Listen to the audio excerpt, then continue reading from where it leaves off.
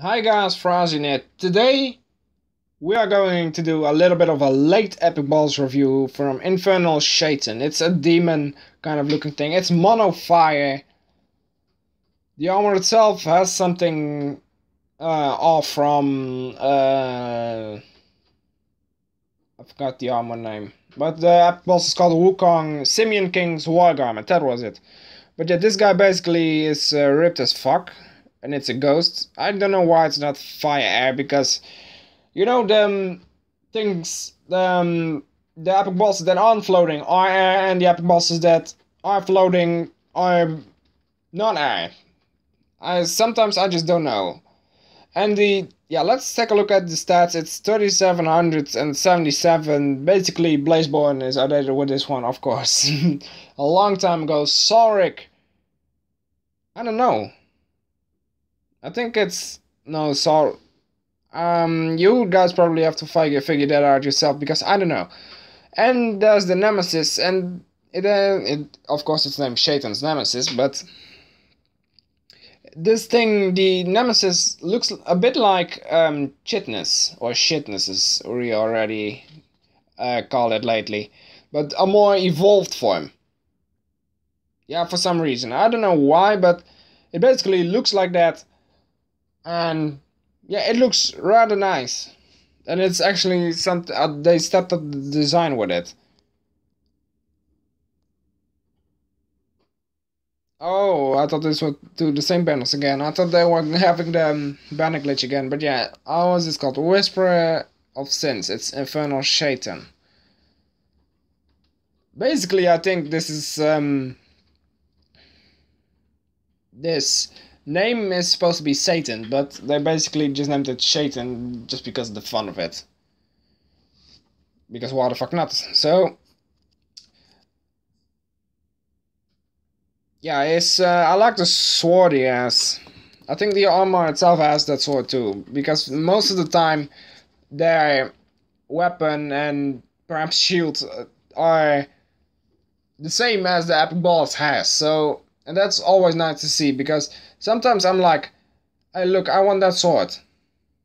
You know, and that sword looks well. It doesn't look really amazing, but it looks good to be honest. So, but yeah, the, like I said, um, this is basically a ripped epic boss, you know, and of course it's kind of a bore looking thing. I think it's supposed to be the devil's horns, of course with a bit of a bold look to it, and it has the bold look, so mission accomplished. He's also wearing a lot of bling, actually. And yeah, that was basically a very quick Epic Boss review, because I don't really have anything...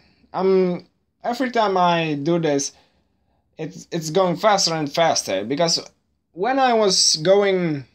When I started doing YouTube, back in like three months ago. Yeah, it, is already three months ago. I can't even believe it. I think it's even further, three to four months ago. But yeah, I couldn't form any words back then. And now, it's um, starting to be a lot better for me. You know, I'm basically it, everything goes a lot faster. I I didn't have any problem with my English, but it's basically just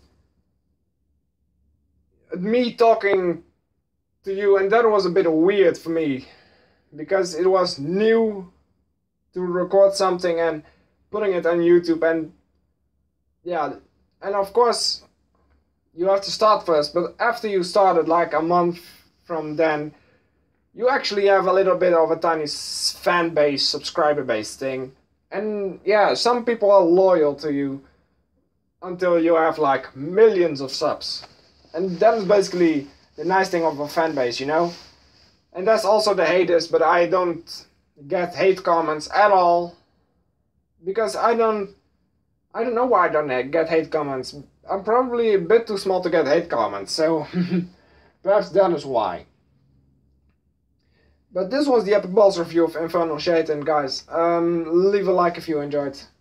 And of course I enjoyed making this, and by now I am probably out of not out of breath, but um, out of out of my voice. But yeah, guys, as always, leave a like if you enjoyed, and I'll see you in the next video. Bye bye.